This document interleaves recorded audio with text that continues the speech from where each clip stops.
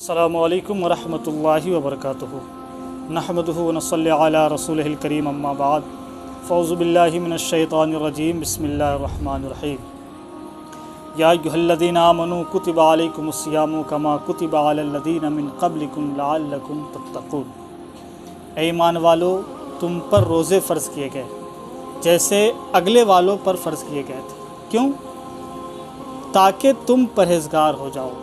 ताकि तुम मुत्तकी हो जाओ। सामीन नाजरीन, अल्लाह तबारक व ताली अपने बंदों से यही चाहता है कि मेरा बंदा मुत्तकी और परहेज़गार बन जाए और नेकोकार में शामिल हो जाए और मैं उसकी तमाम गुनाहों को बख्श दूँ। सामीन नाजरीन, रोज़ेदार का ईमान किस कदर पुख्ता और यकीनी होना चाहिए, के बारे में आइए थोड़ी सी बात समात कर लेते हैं। तकवा का जो अल्लाह तबारक ताली ने फरमाया कि, लाल लकुम तत्तकून ताकि तुम मुत्तकी बन जाओ, ताकि तुम परहेज़गार बन जाओ, नेकोकार में शामिल हो जाओ। तो ये तकवा का जो सबसे आला दर्जा है, सबसे आला किस्म का जो हिस्सा है, वो कैसे हुआ करता है? अल्लाह और उसके रसूल सल्लल्लाहु अलैहि वसल्लम से डर करके ईमान लाना, सख्त गर्मी है, प्यास से हलक सूख रहा है, होंठ खुश्क हो रहे हैं पानी मौजूद है, मगर रोज़ेदार उसकी तरफ़ देखता तक नहीं। खाना मौजूद है, भूख की शिद्दत है, इतनी शिद्दत है कि हालत ख़राब हो रही है, बद से बदतर होती जा रही है, लेकिन वो खाने की तरफ़ हाथ नहीं बढ़ाता। आप अंदाज़ा फरमाइए कि इस शख्स का खुदाए रहमान अज्जवजल पर कितना यकीन कामिल है, कितना पुख्ता ईमान है, क्योंकि वो जानता है कि उसकी हरकत सारी दुनिया से तो छुप सकती है।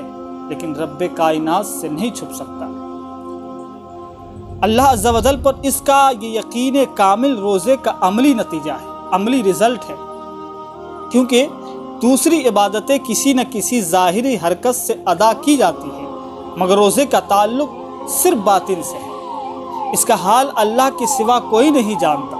अगर वो छुप कर खा पी भी लेता तो लोग तो यही समझते कि शायद ये रोज़े से है।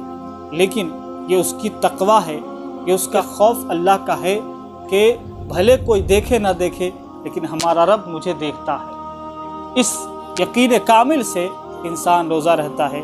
तो फिर उसके बारे में खुशनुदी भी अल्लाह तबारक ताली ने कुरान में फरमाया है। फिर उस ऐसे शख्स के लिए खुशखबरी भी अल्लाह तबारक ताली ने फरमाया है, जो अल्लाह की रज़ा के लिए भूख को बर्दाश्त करता है, प्यास की शिद्दत को बर्दाश्त करता है।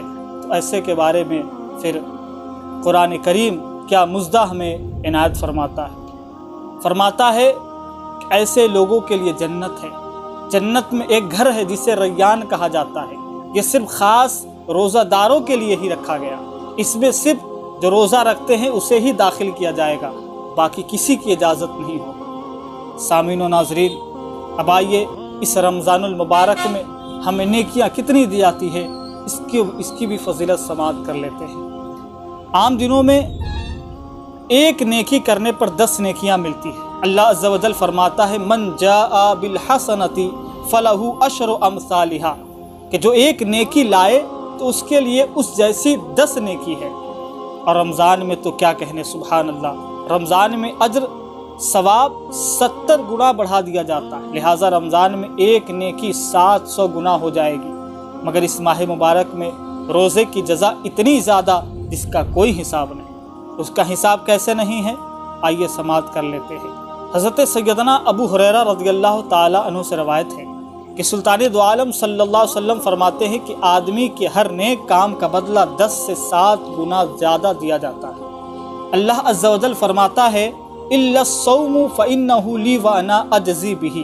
सिवाय रोज़े के के रोज़ा मेरे लिए है और उसकी जजा मैं खुद ही दूँगा अल्लाह अल्लाह अज्जल का मज़ीद इरशाद है कि बंदा अपनी ख्वाहिश और खाने की सिर्फ़ मेरी वजह से छोड़ता है।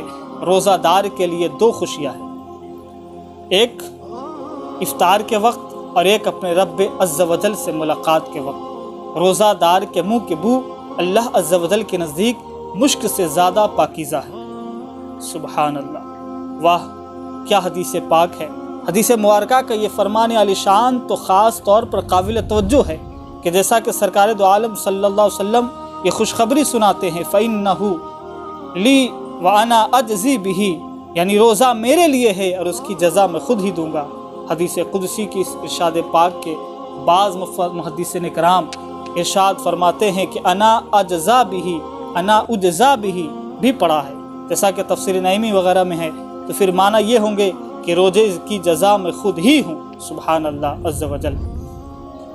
देखिए, नमाज़ हो, ज़क़़त हो, हज हो, गुरबा की इमदाद हो, बीमारी की आयादत हो, मसाकिन की खबरगिरी हो, ये तमाम आमाल खैर से जन्नत मिलती है। मगर रोज़ा वो इबादत है, जिससे जन्नत वाला ही मिल जाता है। यानी मालिक हकीकी ही हमें हासिल हो जाया करती है। एक हिकायत बयान करते हुए, एक मरतबा महमूद गजनवी रहमत ने कुछ कीमती मोती अपने अफसरानों के सामने फेंकते हुए फरमाया चुन लीजिए। और ख़ुद आगे बढ़ गए थोड़ी दूर जाने के बाद जब मुड़ कर देखा तो अयाज घोड़े पर सवार पीछे चला रहा था। आपने एक शेर भी बहुत मशहूर सुना होगा कि एक ही सफ़ में खड़े हो गए महमूद अयाज। एक ही सफ़ में खड़े हो गए महमूद अयाज।